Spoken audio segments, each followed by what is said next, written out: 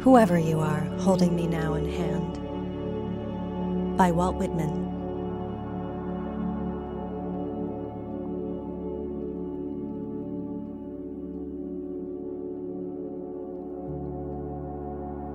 Whoever you are, holding me now in hand. Without one thing, all will be useless. I give you fair warning before you attempt me further. I am not what you supposed, but far different. Who is he that would become my follower? Who would sign himself a candidate for my affections? The way is suspicious, the result uncertain, perhaps destructive. You would have to give up all else. I alone would expect to be your sole and exclusive standard. Your novitiate would even then be long and exhausting. The whole past theory of your life in all conformity to the lives around you would have to be abandoned.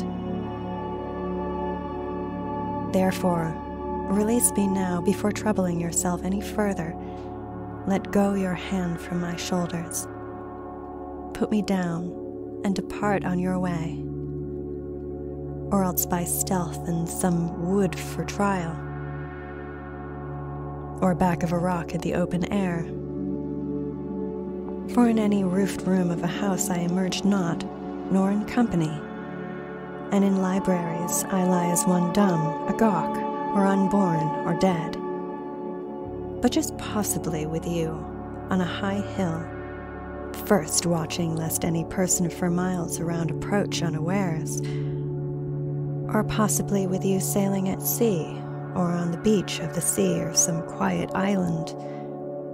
Here to put your lips upon mine, I permit you.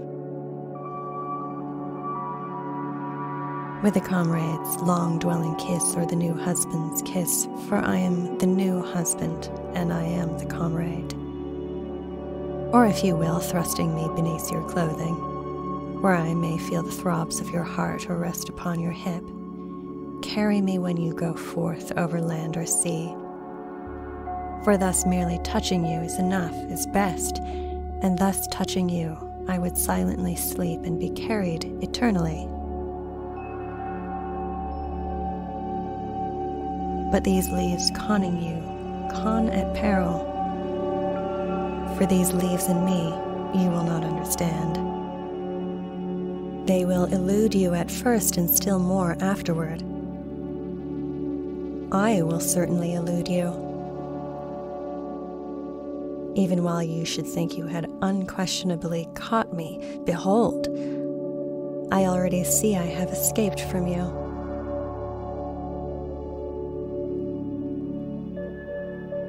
For it is not for what I have to put into it that I have written this book, nor is it by reading it you will acquire it nor do those know me best who admire me and vauntingly praise me, nor will the candidates for my love, unless at most a very few prove victorious. Nor will my poems do good only. They will do just as much evil, perhaps more. For all is useless without that which you may guess at many times and not hit that which I hinted at. Therefore, release me and depart on your way.